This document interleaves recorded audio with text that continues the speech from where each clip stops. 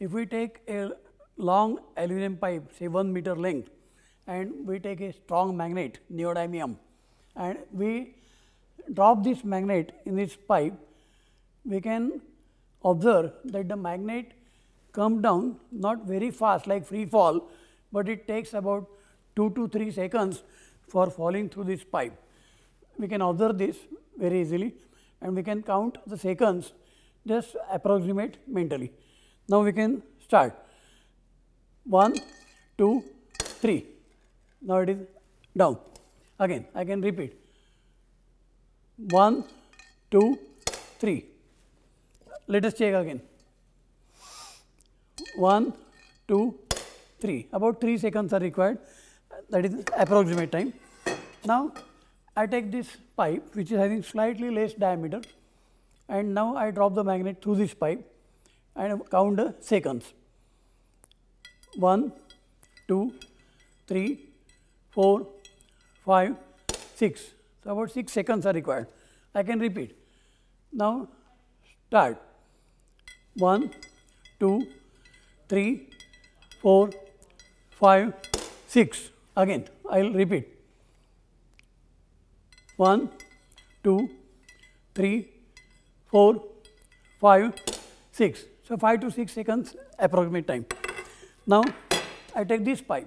This pipe is still less diameter and I drop the magnet with 0 velocity.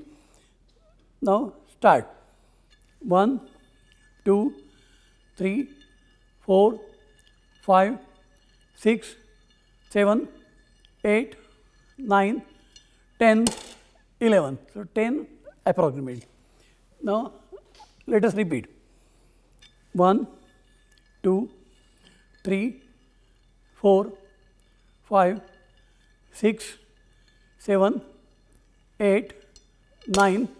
Okay, now this time I got 9 seconds. It is because our human error in counting numbers, but if we take a stopwatch with least count of 0.1 second or 0.01 second, it will be very nice accuracy. Now, I can repeat this.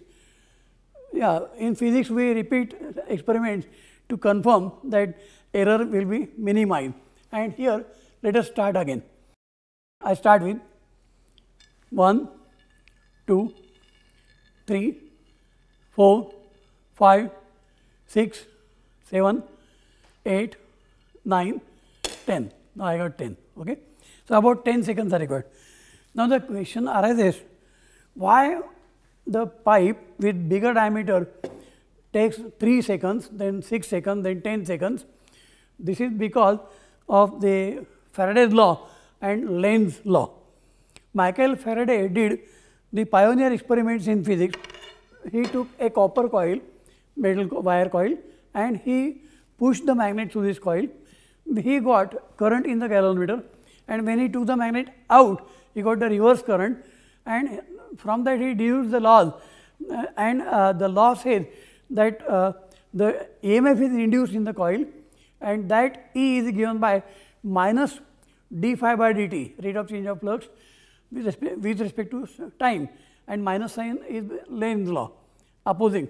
Now, what happens here when magnet tries to fall down its magnetic field and this metal pipe they have interaction.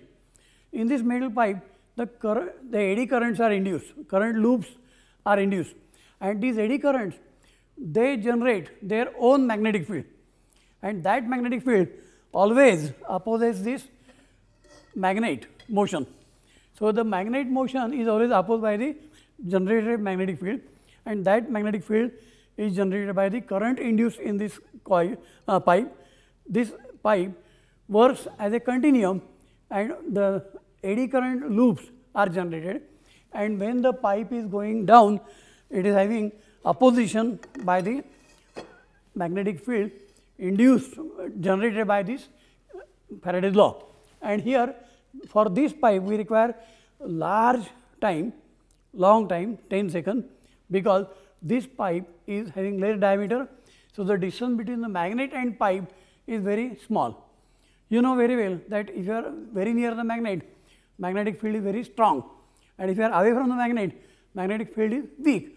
So, if you take a small pipe, you will get strong field will interact with the pipe. If you take a big size pipe, you will get weak field and if you take very big diameter, it will fall almost like free fall. Thank you.